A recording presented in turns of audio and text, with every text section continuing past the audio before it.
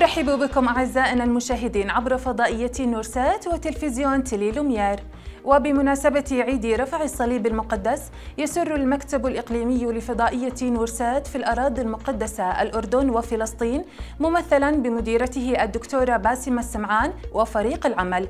أن يتقدم بخالص التهنئة والتبريك إلى كافة المسيحيين في الأردن والعالم. راجين المولى القدير أن يعيد هذه المناسبة على الجميع بالخير والهناء والسعادة. وأن يحفظ الأردن ملكا ووطنا وشعبا وكل عام وأنتم بألف خير ومحبة وسلام. والبداية مع العناوين. البابا فرانسيس يشيد بجهود الملك عبد الله الثاني لصنع السلام في المنطقة. جلالة الملك يوجه بتقديم أي مساعدات يحتاجها القطاع الطبي اللبناني.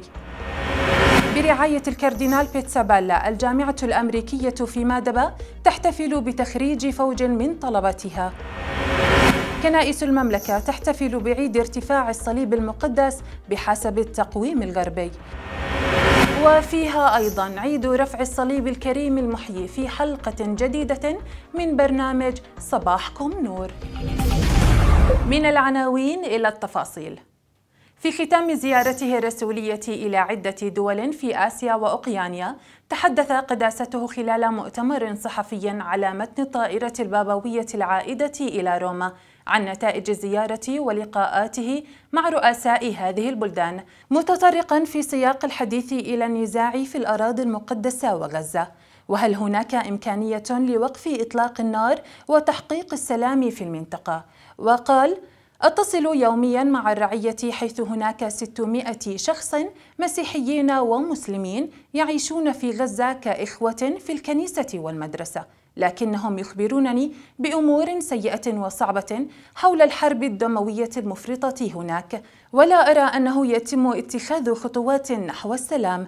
داعيا قداسته الجميع إلى التعاون والتصافح لأن الذي سيربح في الحرب سيجد نفسه أمام هزيمة كبيرة. وفي معرض رده حول الموقف الأردني من الأوضاع في الضفة الغربية وغزة. قال الأب الأقدس أنا ممتن جدا لما يفعله جلالة الملك عبد الله الثاني من مواقف إنسانية. فهو ملك طيب وصالح ويبذل جهده لصنع السلام. ويجعل القضية الفلسطينية وخدمة أهالي قطاع غزة على رأس اهتماماته من خلال توصيل المساعدات الإنسانية إليهم يومياً عبر النقل البري والجوي. وجه جلالة الملك عبد الله الثاني بن الحسين الحكومة الأردنية إلى تقديم أي مساعدة طبية يحتاجها القطاع الطبي اللبناني لمعالجة الآلاف من المواطنين اللبنانيين الذين أصيبوا في عملية التفجير الجماعي في مختلف مناطق البلاد وأكدت وزارة الخارجية وقوف الأردن مع أمن لبنان وسيادته واستقراره وتضامنه معه ومع الشعب اللبناني الشقيق مشددة على ضرورة وقف التصعيد الخطير الذي تشهده المنطقة وإدانة الأردن ورفضه كل عمل يهدد أمن لبنان واستقراره وسلامة مواطنيه. هذا وشكر رئيس حكومة تصريف الأعمال في لبنان نجيب ميقاتي جلالة الملك على مبادرته وتثمين الدولة اللبنانية لمواقف الأردن الثابتة في دعم الشعب اللبناني وأمن بلاده واستقراره احتفلت الجامعة الأمريكية في مادبا بتخريج الفوج العاشر من طلبتها برعاية الكاردينال بيير باتيستا بيتسابالا بطريرك القدس للاتين وبحضور أهالي الخريجين وذلك على مسرح القصر الثقافي في مدينة الحسين الرياضية بعمان. وهنأ غبطته الخريجين بهذه المناسبة معبرا عن فخره بالطلبة الذين سعوا واجتهدوا للوصول إلى مراحل متقدمة في العلم والمعرفة. مشيدا في التقدم الذي تحققه الجامعة الأمريكية على كافة الصعد وفي شتى المجالات. وبدوره تمنى الأب الدكتور جهاد شويحات النائب البطريركي للاتين في الأردن. دوام البركة على الطلبة الخريجين لافتا إلى الدور المميز الذي تلعبه الجامعة في تقدم ورفعة الوطن. شارك في حفل التخريج نخبة من الشخصيات الأكاديمية والمجتمعية وسفير الفاتيكان لدى البلاط الهاشمي جيوفاني دالتوزو وعدد من سفراء الدول العربية والصديقة والكهنة ورجال الدين.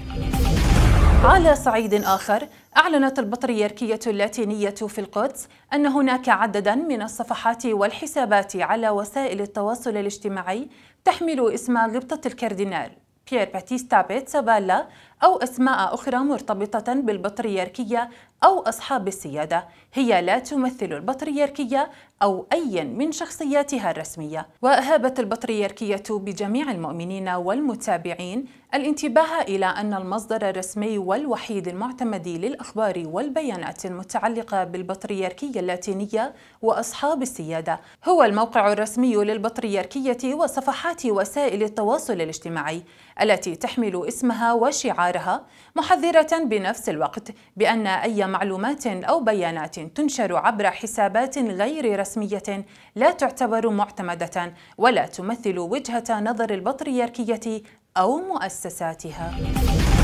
ضمن احتفالات كنائس العالم بعيد ارتفاع الصليب المقدس بحسب الطقس الغربي أقيمت في العديد من الكنائس الأردنية القداديس الاحتفالية بهذه المناسبة المباركة بحضور المطارنة والأباء الكهنة والشمامسة والرهبان والراهبات وحشود غفيرة من المؤمنين. فضائية نورسات ومن خلال مكتبها الإقليمي في عمان وانطلاقا من رسالتها الإيمانية قامت بتغطية العديد من هذه الاحتفالات وأعدت التقرير التالي.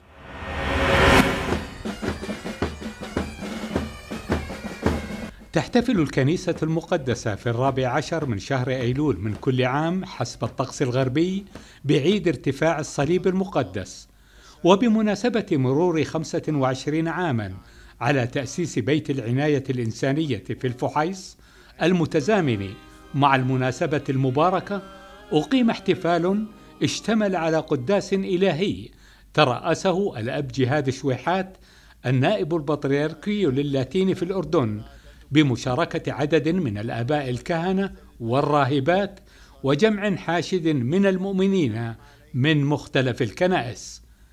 وألقى الأب شويحات عظة القداس تحدث فيها عن معاني الصليب في حياة الإنسان المسيحي داعيا العائلات إلى الالتزام بتعاليم الكنيسة وإرشاد أبنائها على طريق الإيمان الصحيح. مين حمل الصليب مع السيد المسيح. سمعان الشيخ سمعان القيرواني. مين اللي بيحمل عنا عن أهالينا في هذا الدير الأوزاع ويضحوا بحياتهن بسببهن بكل ما لديهن من طاقة ومن محبة؟ من الذي يخدم راهبات الصليب. فالصليب بالنسبة لنا هو فخر ولكن أعظم من ذلك هو رسالة. وفي نهاية الاحتفال الذي رافقه معزوفات من أداء كشافة دير اللاتين لفحيص وشبيبة الكنيسة تمت مباركة وتوزيع ثمار الرمان على الحاضرين واختتم بدورة احتفالية انتهت بإشعال النار كتقليد سنوي بهذا العيد.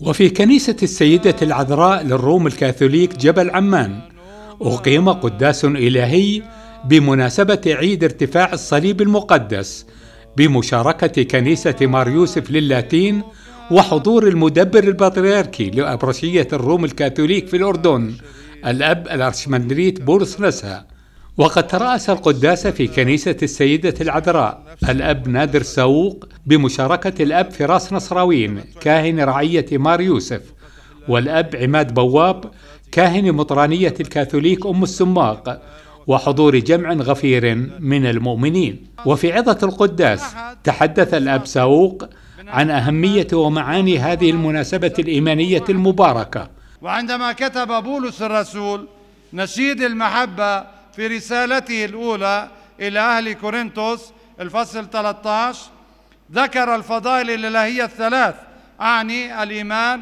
والرجاء والمحبة. يوم الجمعة العظيم ماذا يمكننا أن نسميه يوم الجمعة العظيم؟ يوم الإيمان بيسوع المصلوب. يوم الإيمان بيسوع المصلوب. الذي صلب على الصليب لاجلنا ولأجل خلاصنا. فأصبح الصليب اداه أداة خلاص وحياه وبركة.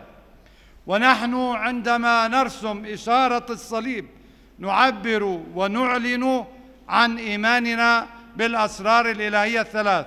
تلا القداس إقامة مسيرة مضاءة بالشموع وعقبها إشعال النار ومباركة وتوزيع حبات الرمان في ساحة كنيسة مار يوسف.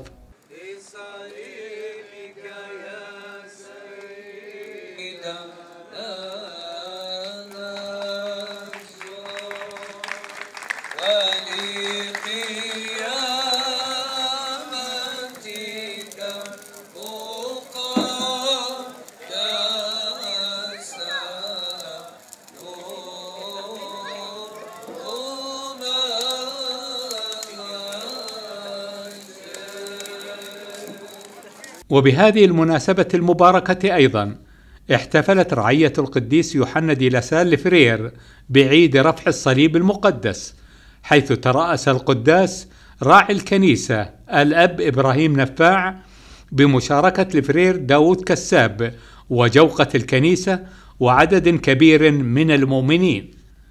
وفي العظة تحدث راعي الكنيسة الأب نفاع عن قدسية وسر الصليب المقدس ومعناه في حياتنا كونه علامة المجد والانتصار على الموت. وفي نهاية القداس توجه الجميع إلى ساحة الكنيسة للمشاركة في إضاءة النار تلاها مباركة وتوزيع الرمان على الحاضرين كرمزية للاحتفال وتقديم الضيافة. كما احتفلت رعية مارشربل المارونيه في عمان بعيد ارتفاع الصليب المقدس وذلك في قداس احتفالي ترأسه قدس الأب جوزيف سويد وسط حضور كبير من المؤمنين. وعقب القداس تم مباركة وإضاءة شعلة النار في ساحة الكنيسة كرمز أساسي في هذا العيد.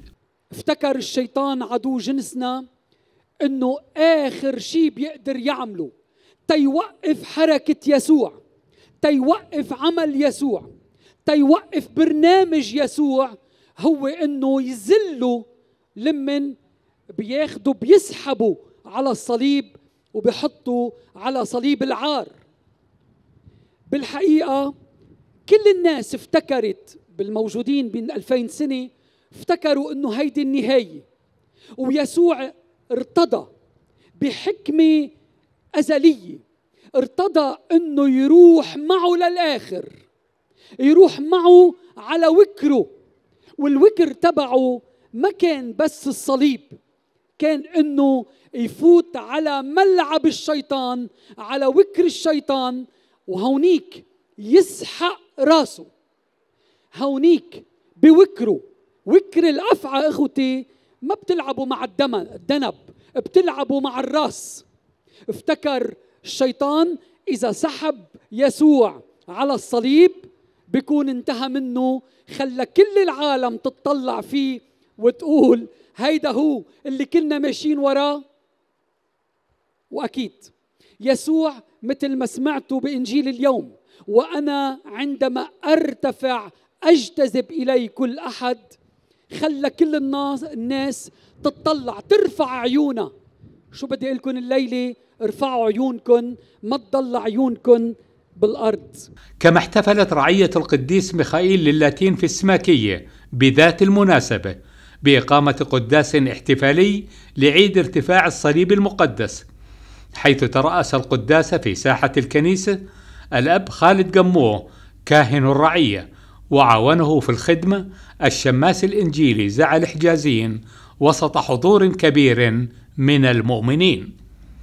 وبعد القداس أقيمت الدورة التقليدية في شوارع البلدة حيث تم إشعال النار المقدسة وتوزيع ثمار الرمان على الحضور. وفي كنيسة القديس جوارجيوس للروم الكاثوليك لفحيص ترأس الأب بورس حداد وبمشاركة الأب حكمة حدادين والأب خالد شعبان القداس الاحتفالي الذي أقيم بمناسبة عيد ارتفاع الصليب المقدس بحضور جمع من المؤمنين. وبعد القداس أقيمت الدورة التقليدية في شوارع البلدة حيث تم إشعال النار المقدسة وتوزيع الرمان على الحاضرين.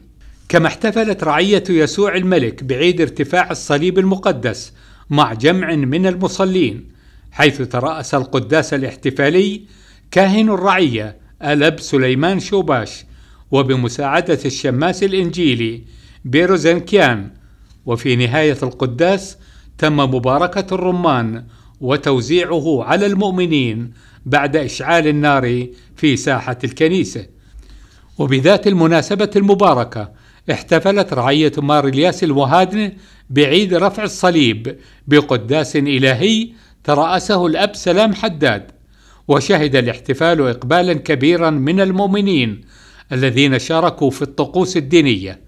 وفي ختام القداس تم إشعال النار في الساحة وتوزيع الرمان في ذكرى هذا التقليد القديم. وفي شمال المملكة احتفلت رعية القديس جورج الشهيد اللاتين إربد بالقداس الاحتفالي لعيد ارتفاع الصليب المقدس حيث ترأس القداس سيادة المطران جوفاني بيترو دالتوزو السفير البابوي في الأردن وعاونه في الخدمة الأب فراس عريضة كاهن الرعية وسكرتير السفير البابوي الأب جيفاني والشدايقة وخدام الهيكل وسط حضور كبير من المؤمنين. تفاصيل أوفى في سياق التقرير التالي. استقبل الأبونا فراس عريضة كاهن رعية القديس جورج شهيد للاتين بإربد ومجلس الرعية والشبيبة سيادة المطران جان بيترو جزيل الاحترام السفير البابوي بالأردن للاحتفال بقداس عيد ارتفاع الصليب المقدس. وعلى ترتيلة يا مسيحا جئت نورا دخلوا بيت الرب. لتبلش الرتبة الاحتفالية. ساعد سيادته في الخدمة كل من الأبونا فراس عريضة والأب جيوفاني سكرتير السفير البابوي بمعاونة من الشدايقة وخدام الهيكل. وأكيد بحضور عدد كبير من المؤمنين المشاركين. ركز الأبونا جيوفاني بالعظة على معاني الصليب بحياة المسيحي بأنه الصليب هو من علامة احتقار لعلامة فخر واعتزاز وعلامة نصر وقيامة كمان. قادها السيد المسيح. ليأكد لك كل شخص مهما كان صليبه ثقيل وصعب لكن بالنهاية رح يبصر النور لكن لازم يكون عندنا قوة الصبر والثقة بربنا أكيد. والإيمان القوي. ب 14 أيلول من كل سنة منحتفل كمسيحيين بعيد ارتفاع الصليب المقدس ومنرجع ومنتذكر قصة اكتشاف الصليب بعد ما الرومان رموا خشبة الصليب بحفرة وأقاموا مكانه معبد للإله الروماني فينوس ليمنعوا المسيحيين الأوائل من زيارة المكان وتكريم الصليب المقدس. استمر هالوضع لسنة 326 ميلادي. لما حضرت القديسة هيلانا الإمبراطورة والدة الإمبراطور قسطنطين الكبير لأورشليم لتبحث عن خشبة الصليب المقدس. ليتم إخبارها بأن الصليب مدفون بقرب المعبد فينوس اللي أقامه الإمبراطور أدريانوس. فأمرت بحفر المكان فعثرت على ثلاث صلبان لكنها ما عرفت أي واحد منهم صليب السيد المسيح الحقيقي. فاقترح عليها البطريرك مكاريوس بأن يوضع أحد الصلبان واحد تلو الآخر على جثة أحد الموتى اللي كانت جنازتهم بالمكان بهذاك الوقت.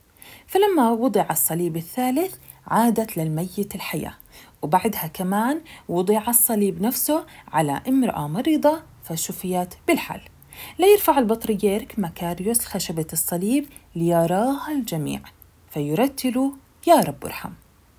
وقبل ما يتوجه الجميع لساحة الكنيسة لإشعال النار قدم الأبونا فراس هدية كتذكار من الرعية لسيادة المطران. وبعديها تم إشعال النار اللي بتدل على وسيلة إعلان وتواصل أمرت فيها القديسة هيلانا بإشعالها ليوصل الخبر لابنها الإمبراطور قسطنطين على إنهم اكتشفوا الصليب بهذاك الوقت. والرمان أكيد ما بننساه واللي بيتم توزيعه هو عبارة عن وحدة الكنيسة فحبة الرمان ترمز لحياة الخلود من الداخل. مذاقها حلو لكن غلافها الخارجي مر. وهذا الرمز برمز على إنه السيد المسيح ذاق المر والصلب. ليصل لحلاوة القيامة والفرح.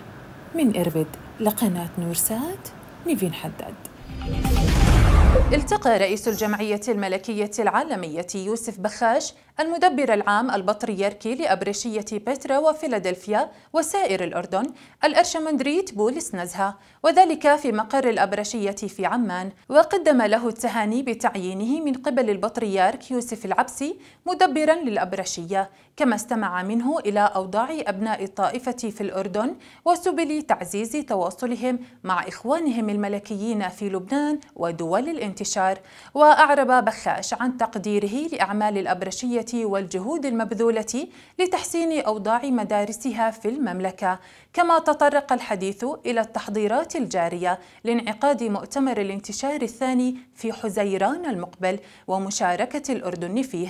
حضر اللقاء من المطرانية الأرشمندريت بسام شحاتيت والأب بولس البقاعين والأب جورج شرايحة ضمن خطتها السنوية بزيارة أخويات الشمال قامت الهيئة العامة للأخويات المريمية في الأردن ممثلة بمرشدها الروحي الأب إبراهيم نفاع وعدد من أعضائها بزيارة أخوية الحبل بلادنس في بلدة الوهادنة.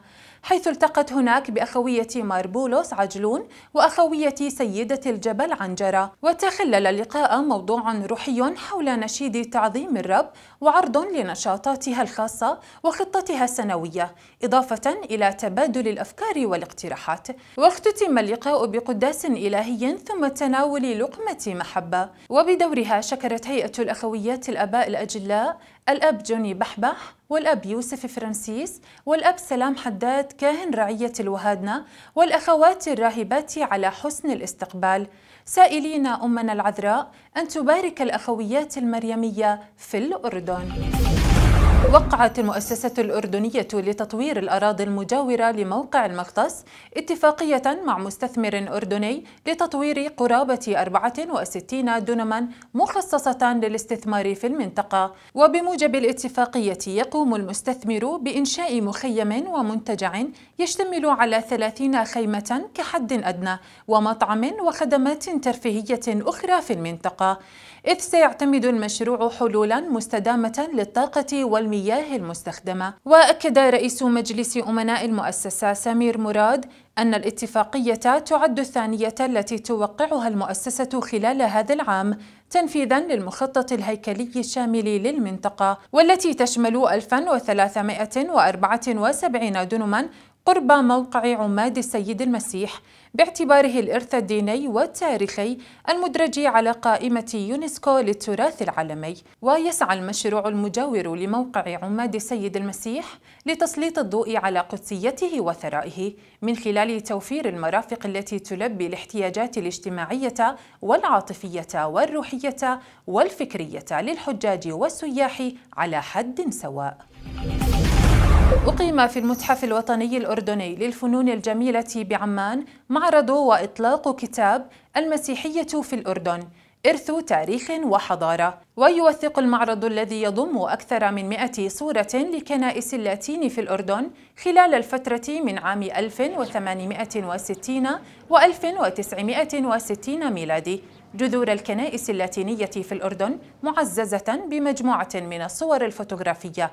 تم جمعها من أرشيف الأب الدكتور جان ميشيل. بالإضافة إلى صور تعود لأكثر من 150 عاماً وتم الحصول عليها من الأرشيف التدريبي للبطريركية اللاتينية في القدس وأرشيفات خاصة أخرى. شارك بتنظيم المعرض هيئة تنشيط السياحة بالتعاون مع الأرشيف التاريخي للبطريركية والمعهد الملكي للدراسات الدينية والمتحف الوطني الأردني للفنون الجميلة. وقد تم تنسيق وتنفيذ المعرض والكتاب من قبل إدارة التصوير في عمان. هذا العرض رائع جدا. هي أصلا مبادرة من الأب جان ميشيل دو تاراغون وجان ميشيل دو تاراغون هو من معهد الكتاب المقدس بالقدس. فالفكرة هي نجمع مجموعة واسعة من الصور القديمة للكنائس المسيحية بالأردن. يعني من تقريبا سنة 1860 لغاية سنة 1960 يعني قرن 100 سنة وهذا يمثل عمق الإرث المسيحي بالأردن وبالبلدان العربية.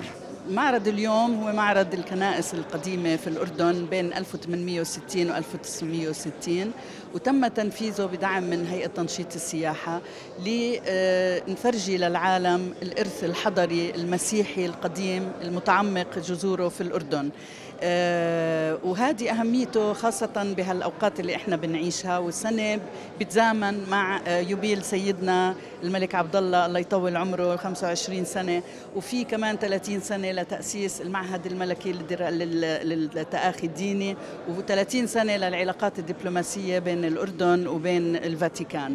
فهدول كلهم آه، مناسبات عزيزة على قلوبنا وحبينا أنه نظهر بهذه المناسبة الإرث الحلو الحضري اللي موجود عندنا ونفرجي الكنائس الجميلة اللي موجودة عندنا من مئات السنين.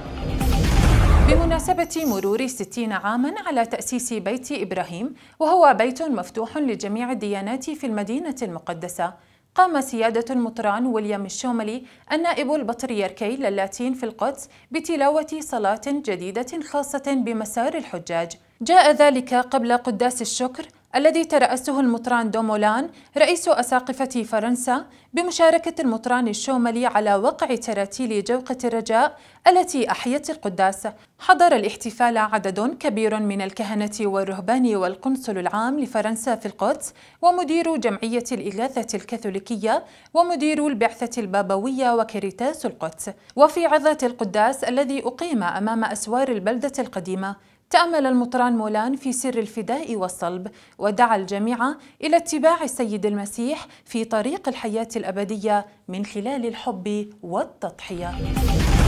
تشكل فئة الاحتياجات الخاصة في مدرسة إفتح بولس السادس ببيت لحم علامة رجاء وحياة للعائلة والمجتمع بأسره.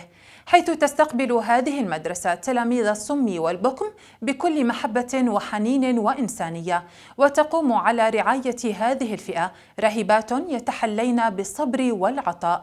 نورسات الأرض المقدسة زارت المدرسة وأعدت التقرير التالي. مدرسة افتح بولس السادس التي تقع وسط مدينة بيت لحم تعتبر من المدارس الوحيدة على مستوى فلسطين. تعنى بالاحتياجات الخاصة والذين يعانون من فقدان السمع والنطق. كان لنرسات جولة في هذه المؤسسة العريقة حيث تجولنا في أكثر المرافق في هذا الصرح. والذي تقوم على رعايته عدد من راهبات القديسة دorothea المعلمات بنات القلبين الأقدسين. تجولنا في الصفوف التعليمية حيث التعليم البعيد عن لغة الإشارة بل تعليم أكاديمي بحت كبقية المدارس. هنا يتعلم الطالب من الروضة وما دون حتى الثانوية العامة التوجيهي. هنا نجد العطاء والصبر والحب المتبادل. إحنا آه، بنقدر نقول بفخر من المدارس الوحيدة اللي بتقدم خدمات على المستوى الفلسطيني لذوي الاحتياجات الخاصة اللي بيعانوا من آه، السمع والنطق. ونحن في عندنا كادر متميز لتقديم هاي الخدمات لهاي الفئة. وفي نفس الوقت آه، نحن نواكب كل ما هو جديد على مستوى العالم ضمن هذا المجال. ونعمل على إعادة دمج هؤلاء الطلاب مع المجتمع حتى يكونوا أعضاء فاعلين وقادرين على مواجهة التحديات وتقديم خدمات أفضل لبناء مستقبل الوطن الفلسطيني. كما نجد هنا قصص نجاحات تحققها المدرسة عاما تلو عام. مدرسة إفتح بولس السادس تضم طاقما تعليميا وكادرا ذا كفاءة عالية. كما يتلقى الطالب جميع الخدمات والمتطلبات الحياتية اليومية من مأكل ومشرب ومنام. من عمر سنة لثلاث سنين بتكون هاي المرحلة تأهيلية للطلاب تحضيرية لكيف بدهم يفوتوا لقبل الروضة. ننتهي من هاي المرحلة بنطلع لمرحلة الروضة اللي هي بتكون من عمر ثلاث سنوات لست سنوات ست سنوات ونص. عندنا في مرحلة الروضة برضه بنعمل تأهيل سمعي ونطقي بالإضافة للصفوف الموجودين عندنا في بعض معلوماتنا دروس فردية للطلاب. لأنه إحنا هون عنا بنستخدم ما بنستخدم لغة الإشارة بنستخدم قراءة الشفاه للطلاب. هلأ بنخلص بننتهي من مرحلة الروضة بيطلعوا طلابنا بنتقلوا لمرحلة الابتدائي اللي هي من صف أول لسابع. هون إحنا بنستخدم منهج التربية والتعليم المناهج العادية زيهم زي أي طفل أو أي طالب عادي في أي مدرسة عادية خاصة أو حكومية. نفس الكتب ونفس المنهج. هلأ لما يخلصوا من صف سابع سادس بيطلعوا لصف سابع ليوصلوا لمرحلة الثانوية العامة. عندنا هون في مرحلة الثانوية العامة بس القسم الأدبي. ما عندنا القسم العلمي لأنه شوي بنحسه صعب لطلابنا. أما بالأدبي هم ماشيين كتير تمام وبوصلوا لمرحلة الثانوي بخلصوا التوجيهي ومن بعد ذلك بندمجوا في الجامعات. في عنا كتير قصص نجاح في لطلابنا باندماجهم في الجامعات قسم المحاسبة التربية وما شابه. وفي قسم من الطلاب بيتجهوا للقسم المهني. كما زرنا الكنيسة التي تتوسط الصرح والقاعات والمرافق المختلفة التي تتزين بصور وأيقونات. هنا يكمن العطاء من قبل الراهبات والإدارة والكادر التعليمي. المدرسة بلشت لما إجا كنيسة البابا بالحاج اللي إجا بال 1964 للأراضي المقدسة. وطلب إنه يكون في مدرسة لسم البكم للطلاب اللي ما بيسمعوا لأنه شاف إنه في كتير طلاب ما ما بيحكوا. وإحنا يعني قبلنا كرهبنة فتحنا هذه المدرسة بال 1700 1971 مع 24 طالب اجوا نرسوا من الأردن يعني كان مفتوح. وهلا تقريبا في 180 طالب من صفر للتوجيهي. وبال 1214 إحنا كمان عملنا فتحنا توجيهي أول مرة. وكمان اليوم السنة هاي كان في ثمانية طلاب توجيهي. نجحوا سبعة معناته هي نعمة كبيرة. وأكثر شيء يعني المدرسة بس الصوم بس بنخليهم يحكوا مش بالإشارة بيحكوا حكي يعني. هي أهم شيء لأنه بعدين لما بيتروا ممكن يعني يحكوا مع الناس بالمجتمع يعني كأنه ناس عاديين زيهم يعني. بعدين بيكملوا كمان بالجامعات وشي هيك. عائلة واحدة معا نرتقي. شعار كتب على لوحة لكي يبقى هذا الصرح شامخا. هذه المؤسسة تسعى دائما لكل ما هو متطور وجديد. هي عائلة توفر للطالب الذي يعاني من فقد نعمة السمع والنطق. توفر له الطريق لكي ينخرط في المجتمع. نعم من هنا ومن مدرسة افتح بولس السادس. تمكن الطالب بأن يندمج بالمجتمع ويستطيع مواجهة التحديات. للنرسات مارلين الحدوى من مدرسة إفتح بولس السادس بيت لحم.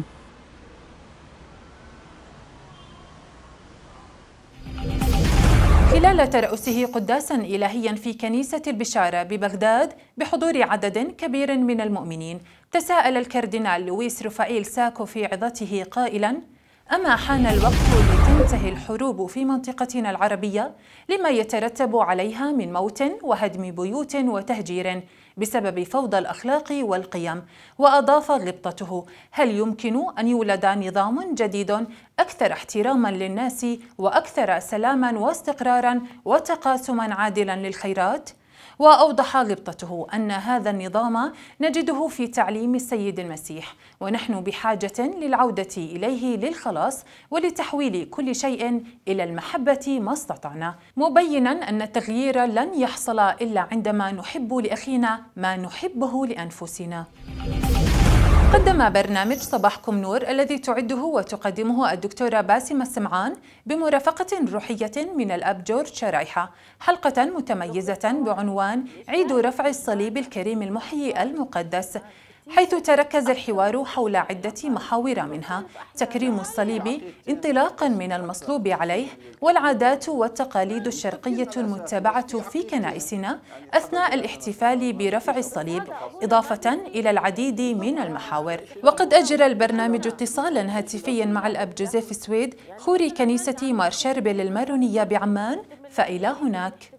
هلا ابونا حلقتنا عن عيد الصليب المكرم وقصة الصليب يعني معروفة وعدة مرات ذكرناها إنه كيف صارت ولماذا شعلت النار وموضوع الصليب كيف وجد ومن أوجده ف يعني تاريخيا أبونا إذا بتقدر تحكي تاريخ هلأ بالعودة إلى الكتاب المقدس بالعهد نعم. القديم نعم. فكرة الصليب كعقوبة كانت نعم. قائمة وردت 46 مرة فعل يخص آه، قيام إنه العقوبة كانت من خلال الصليب وأفعال 46 مرة. وبالعهد الجديد 28 مرة وردت كلمة آه، الصليب. آه، العيد اللي بنعيد له ب 14 وب 27 حسب التقويم الكنسي هو مش عيد الصليب بشكل مباشر هو عيد رفع الصليب بمعنى شو عيد رفع الصليب؟ بمعنى الخشبة أو إحنا بنسميها الذخيرة اللي نعم. أخذت منها هي آه، اليهود كبوها في محل في في مكان للنفايات آه، ابعدوها عشان ما تصير يتعبدوا لها المسيحيه أو أو كذا. فبقيت كذلك لغاية آه، لما صارت الحرب بين الفرس والرومان البيزنطيين اجى هرقل والحرب اللي صارت بينه وبين الفرس وانتصر فيها. فطلب إنه بهذا الحكي ب 628 يعني هذا تواريخ يعني. وأعاد الخشبة من آه، الفرس كانوا ماخذينها. نعم. أعادها وداها وين؟ على مدينته العظيمة عاصمة البلاد القسطنطينية اللي هي نعم. اليوم ما يعرف بمدن تركيا. يعني بعتبر إنه إثارة هاي الفتن والنعرات وال وال وال والعنصرية هذه هذه حجار عثرة بتكون أمام الجماعة المؤمنة. وويل لمن كان حجر عثرة. فما تكونوا حجار عثرة للآخرين. ما تكونوا بكلامكم. هذا لأن في ناس كتير بتصدق وفي ناس كتير بتاخذ بعين الاعتبار هذا الشيء في ناس كتير بتقول لك مثل جروب الواتساب تاع الأصدقاء نورسات كتير في ناس بتضلها تحكي وتعلق والكلمة هاي والكلمة هاي وبتمسكي بهاي الكلمة وبتمسكي بهاي الكلمة جماعة المؤمنة الموجودة على الجروب بتقول لك أنا مش فاضي لهالوجع الراس هذا شو بتعمل؟ بتنسحب وبتطلع من ال group. وهيك عم بيصير في كنايسنا. نتيجة خوري معين حكى شغلة أو في كلمة معينة حكتها بتلاقي المؤمن بطل يصلي. ابتعد عن الكنيسة. ابتعد زي ما بطلع من الجروب بطلع من الكنيسة. لأنه فلان وعلتان. أنت لما بتروح بتصلي مش من أجل فلان وعلتان من أجل السيد المسيح من أجل الصليب المكرم اللي إحنا بنآمن فيه. من أجل المسيح المعبود اللي على هالصليب من أجل الرب يسوع المسيح اللي إحنا بنآمن فيه اللي هو مدعو إحنا مدعوين كلنا للخلاص. فإحنا رايحين على الصلاة من أجل هدول. مزبوط في أشخاص هن موجودين حاملين هاي المسؤولية. يوصلوا لنا هذا الإيمان؟ بغض النظر إنه يعني بضلهم بشر ومش كاملين وما حدا كامل غير الله. فما بصير إنه نضلنا ننحر حالنا وننحر الآخرين ونجرجر بخطايا وزلات بعض نمسكها. هذا حكى هيك وهذا قال هيك. ونبتعد. لا بعض في ناس كثير بتقول لك أنا لا بآمن بكنيسة ولا بآمن بخوري ولا بآمن بصلاة. أنا بصلي هيني بالبيت بقرأ هالإنجيل إذا فضي وبصلي لربنا بالبيت. يعني هدول الأشخاص اللي بدهمش لا يتعرفوا على حدا ولا بدهم يشوفوا حدا. هل هاي وحدة كنسية؟ هل هاي وحدة مسيحية؟ هل هذا بتفيدنا بالوحدة المسيحية؟ بتفيد بقوة حضورنا المسيحي؟ ما بيفيد بيحكي بولس الرسول إنه إحنا كيف مخلصين؟ بأعمالنا ولا بإيماننا. فمشكلتنا اليوم إن إحنا بنحاول نركز على أعمالنا. اللي بتمجد فيها الرب يسوع المسيح اللي بتمجد فيها كنيستي اللي أنتمي لها الكنيسة الرومي الكاثوليك أو الكنيسة الأرثوذكسية أو الكنيسة البروتستانتية الإنجليكانية. كل واحد قاعد بيعظم الأعمال. أحلى مهرجان عيد صليب صار بمعلولة عملوا وسووا كذا وعملوا عملوا ركزي على كلمة عملوا. آه، مطرانية اللاتين بالأردن أكثر كنيسة منظمة مرتبة. التسلسل الإداري واضح. آه، كلنا بنركز على إيش؟ الأعمال. آه، كنيسة كذا كنيسة كذا. طب إحنا في بنقول أكثر كنيسة روحانية؟ ما بنركز على على على الأرض. فهي مشكلتنا إن نصير نركز على إيماني أنا. وإيماني علاقة مباشرة مع الرب يسوع المسيح. التكوين عم نشوف شجرة الحياة وعم نشوف شجرة معرفة الخير والشر. يمكن كتار كتار كتار يمكن 98% من الكهنة ومن كل العالم بيحكوا عن شجرة معرفة الخير والشر وكيف إنه آدم سقط بلعنة الخطية ولعنة الموت ودخل من خلال هالسقطة دخل الموت للعالم. ومن وقتها بلشنا نحكي بشجرة الحياة وشجرة الحياة دكتور ملنا إلا خشبة الصليب اللي بالحقيقة تدل عليها أشهى عنقود عنقود الخلاص بنسميه يسوع المسيح نعم. فلو أنه حقيقة آه، آدم وحواء أو الإنسان الأول رفع عيونه واطلع نعم. بشجرة الحياة اللي هي مكتوبة بأول سفر التكوين الفصل الأول وبآخر سفر الرؤيا بآخر فصل من سفر الرؤيا شجرة الحياة كنا فهمنا قضية كتير كبيرة بالحقيقة وكنا فهمنا إنه القضية كانت مربوطة على شجرة الحياة وإنه الله بده نقطف وننعم من شجرة الحياة ثمرة الحياة نعم. واليوم جاي لأقول عن الصليب إنه أجمل لوحة هي لوحة يسوع المسيح على الصليب اللي بيقول قبل موته بشوي وأنا عندما أرتفع أجتذب إلي كل أحد وأنتم بتعرفوا كثير منيح وأبونا جورج بيأكد على هالشيء إنه وقت اللي كانت بالصحراء قضية الحرية وقضية الكرامة وقضية الهوية عم تاخذ مطرحها بصحراء آه بالصحراء آه الخروج من العبودية إلى الحرية. مثل ما نحن عم نعبر هلأ هالأرض من أرض الشقاء إلى مملكة الآب. في عنا نعم قصة الحية النحاسية اللي رفعها موسى نعم. وقال لهم الرب طلعوا فيها علوا عيونكم بقى. وهيدي الأفعى اللي جاي تعقصنا بكحلنا.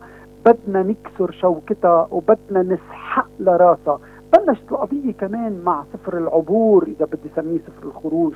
وهون بنشوف دكتور بنشوف أبونا جورج صحيح. قديش قصة الصليب هي قصة حياة.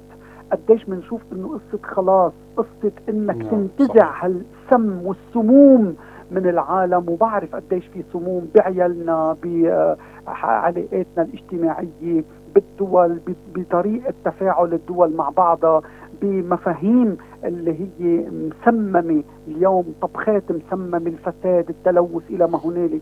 فأنا بقول القضية كلها قضية صليب قضية كلها قضية شجرة حياة. وقضية قصة بمين بدنا نطلع. إلى هنا مشاهدينا وصلنا إلى نهاية نشرتنا. وقبل الختام هذا تذكير بأبرز ما جاء فيها من عناوين. البابا فرانسيس يشيد بجهود الملك عبد الله الثاني لصنع السلام في المنطقة. جلالة الملك يوجه بتقديم أي مساعدات يحتاجها القطاع الطبي اللبناني. برعاية الكاردينال بيتسابالا الجامعة الأمريكية في مادبا تحتفل بتخريج فوج من طلبتها كنائس المملكة تحتفل بعيد ارتفاع الصليب المقدس بحسب التقويم الغربي. للمزيد من التفاصيل زوروا موقعنا الإلكتروني نورسات جو dot org طابت أوقاتكم وإلى اللقاء.